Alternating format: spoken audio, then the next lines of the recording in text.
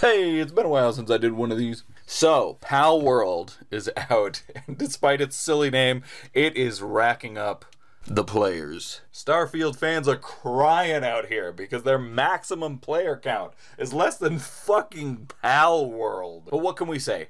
Pokemon fucking slaps and it sells despite how bad the last entry was. I was going to make an entire video about why Scarlet and Violet are messed up and their DLC was not worth it, but eh, just wrap that into this video. Why not? So if you've been living under a proverbial rock, let me give you the lowdown here. Scarlet and Violet was a broken, buggy mess of a product at launch. It was passable, playable, but very ugly.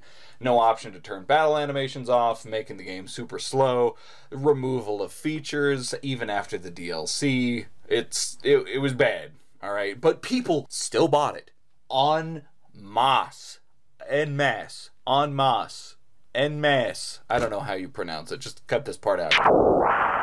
People bought a lot of fucking copies. This continues the trend of Game Freak and the Pokemon Company releasing half-assed garbage at full price and then it sells super well so they're like well uh, people clearly like our garbage let's keep half-assing it removing features making things not even remotely up to quality standards, and people will still buy it, and we can just fuck off and buy our 19th yacht. If you couldn't guess by the title of this video, they have competition now, even if it is a very, very silly entry. Pokemon has been running absolutely unopposed, so they have been able to get away with literally anything that they want. If they don't want to put any sort of quality or even use quality control in their games, they're just running with that. But now they have competition, which is the best thing for this trend in not giving a shit about making quality games anymore.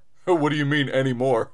no, check it. I love Pokemon. I have been shiny hunting for the last like year and I can't get enough of it. So, when I love something, I will talk shit on it because I want that thing to grow, improve and get better over time, not worse. Because Pokemon no longer has the monopoly on creature catching games. Hey, get those get those examples off of my screen. I didn't ask for those. The loss of their monopoly means they're going to actually have to try, even if it's just a little bit.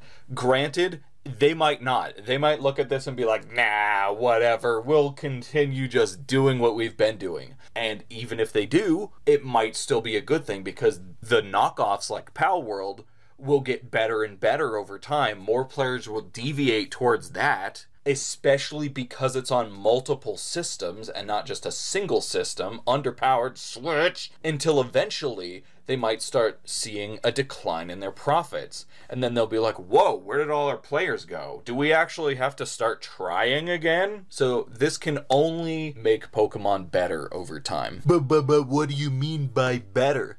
Did you play the fucking DLC for Scarlet and Violet? Did you see what the end result was? Oh, good, you can invite friends to hang out for five minutes. Wow, cool. Where's the battle frontier?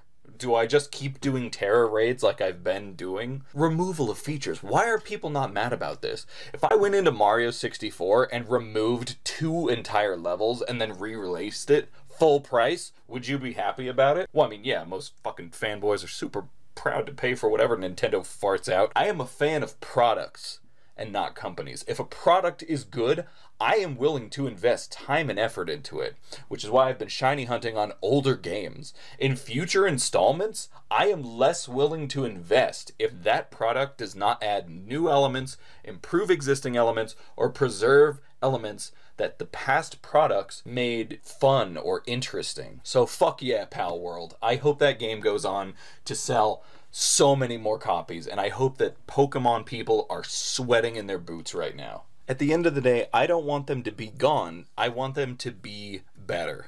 And you should too. I could make a whole video about how they shiny locked all of the legendaries, so there's not even any point in catching them if you have in the past. Ah, for another time, another time. I'll just end by saying, would you pay $35 for DLC that feels like it was just regular content that was already in the main game that they cut out so they could resell it to you later? No, you wouldn't do that shit. You're not fucking stupid. But apparently I am because I fucking bought it.